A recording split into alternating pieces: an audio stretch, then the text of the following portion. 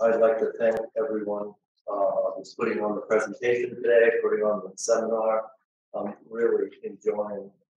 I'd just like to say that, uh, geo- geomorphology was my first love, and it's wonderful to be able to combine and apply the processes of geomorphology and archaeology. Uh, and everyone here, uh, has said something that's directly applicable to my job. Um, I'd like to say that I do have some photos of some, uh, artifacts, uh, salvage collected and collected from excavation from Snake Island, currently curated at Sarasota County Historical Resources. And acknowledge that these are cultural items that were made, belong to individuals and families that used in daily activities as they participated in their cultures. Um, Snake Island is a site that, uh, I identified in nineteen, uh, uh, ninety-four is containing an archaeological site that was uh, eroding from a, from an island. And my story today is gonna talk a little bit about what I've found, uh, about this over the last twenty years. Let's see if we can make this move. Uh, the first, um, the first illustration of map of Snake Island was in eighteen eighty-three in the US Coastal Geodetic Survey representing the Knight, the Jeffrey and Caroline Knight settlement. Uh, Snake Island is illustrated as a, uh, the red arrow and it's south of Casey's Pass and it's part what appeared to be a, a uh, flood tide delta. And, uh, it's illustrated here as a mangrove marsh. Nineteen thirties, uh, aerial prior to the stabilization and hard shoring of the pass. Uh, this is the southern end of Snake Island, and you can see there's a little house, houseboat on the southern end of the island. Jesse, uh, and Elijah, uh, Turner lived on a houseboat, uh, at the southern end of the island. The, the nineteen forty-eight depicts the island as a elongated spoil island that was dredged in nineteen oh seven when initial intercoastal waterway was cut. Um, this is after the Venice and Hard Shore. In nineteen sixty-five, the island was bisected again, and both islands were used as a spoil island. Here's the distribution of local sites in the general vicinity, pictured in the center is Snake Island in the project area. Snake Island from the shore in nineteen ninety-nine shows it as a sand elevated spoil island with uh, mostly Australian pines. In 1999 1994, I documented a, a shell midden eroding out below mangrove mud. And uh, in that mangrove mud, below the sands and the spoil, was a um, archaeological shell midden of uh, considerable uh, interest. Along the shores were a distribution of shell, uh, bone, sea turtle bone, shell tools that represented a uh, past uh, lifeways in an exceptional state of preservation. Also associated with articulated broken pots, um, uh, shell tools, and uh, much of it were eroding out of primary context and getting deposited on shore. Some of the uh, ceramic artifacts that were represented were mainly Pinellas Plain, Sand Tempered Plain, St. John's Plain, check stamp, and uh, and Glades Tooled. What was exceptional about the, this material was that it was, it was as if it was deposited that day. As if you wrote it out, you could see that the site gave evidence that it was rapidly abandoned and quickly inundated with bay mud with, with rising seas and, uh, and turned into a, a, a mangrove marsh. Some of the other artifacts, there were two episodes where entire pot breaks were exposed.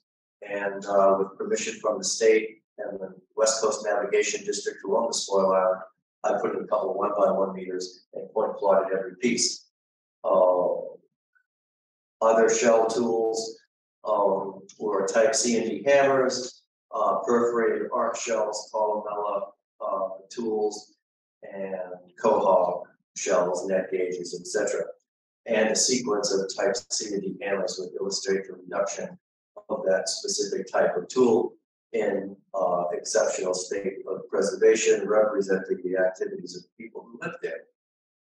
Also, which was exceptional uh, and probably atypical, were a high amount, high frequency of sea turtle boats, which was I've never seen uh, such quantities of sea turtle bones in direct association with the shell tools and ceramics.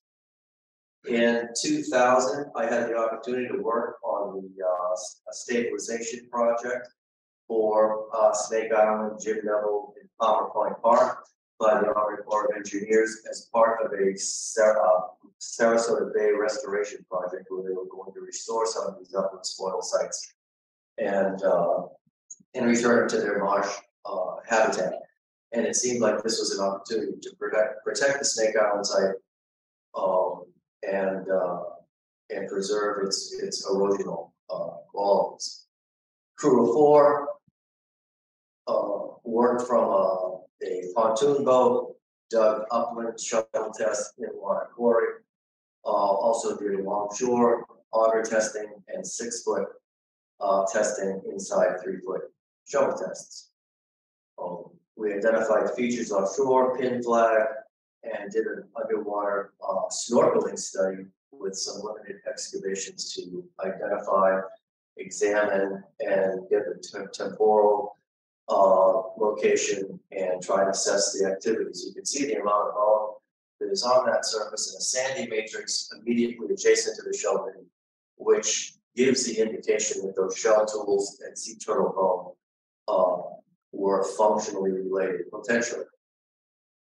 Radiocarbon dates suggest a late prehistoric site between 880 and 1660, and that would bring it into the uh, safety harbor period. And there were also um, artifacts from the midden with Belle Glade ceramics and and uh, check stamp that indicated an earlier late uh, uh, Manasota Key Weeden Island component, which which indicated that there was a late deposit of safety harbor in association with uh, with the Weeden Island component. One of the interesting dates uh, were late archaic. Columella shell tools are known to be dated uh, considerably earlier in the late archaic and the distribution of columella tools around the island, which were probably over a hundred, indicated that they were from spoil that were originally dredged from the 1907 or 1965 dredging that primarily capped the mangrove marsh in the marsh of which capped the archaeological site. So we have a, um, a case study in, in sea level rise that estimated to occur about, I would say, fifteen hundred to fifteen fifty, based on the associated artifacts, radiocarbon dates, and Spanish olive jars in association with the mangrove line, line over the minute, two minutes, oh my God, two minutes left. Um, here we have some of the erosion in two thousand four. The island never did do, uh, get its stabilization, uh, plan, so it continued to erode. And in two thousand thirteen, the director of the navigation district initiated another project for stabilization of the island.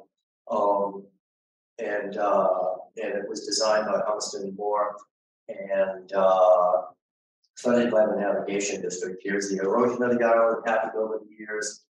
And they did the plant, the, uh, decide to hard shore some of the surfaces so they could use the island both as a spoil island and protect the archaeological site. They removed the stumps, uh, I monitored, uh, did some collection, worked on the site and, uh, monitored the installation of the, of the groins and placed into the sands to create containment basin to cover the site and hopefully protect it. And intact features, uh, mendable, uh, pot breaks. It was a considerably significant site, uh, demonstrating, um, inundation, transformation of environments, erosion, exposure. And this is the latest, uh, um, two thousand fourteen. And recently, in two thousand nineteen, they just did another uh, episode. In two thousand fourteen, uh, the West Coast Navigation District was awarded the Stewards Heritage Award in Gorda, which was hosted by the Women Springs Little Spring Archaeological Society. And a uh, volunteer and intern from New College, Michelle Calhoun, who's here today, uh, initiated an analysis of prehistoric shell tools, Gastropod tools, and, and Columella tools from Snake Island, and uh, worked on recording over a thousand shell specimens, twenty-three uh, type C and D hammers, F hammers, C hammers, uh, a number of different types of shell tools, uh, categorized, measured, weighed, and uh, came up with a description. Uh, did some work on the columella, which uh, I'm wrapping it up here, and demonstrated that columella tools seem to be snapped, and looking at hafting strategies and and uh, and et cetera. So she also did some illustrations of the artifacts, um, which helped in the analysis process.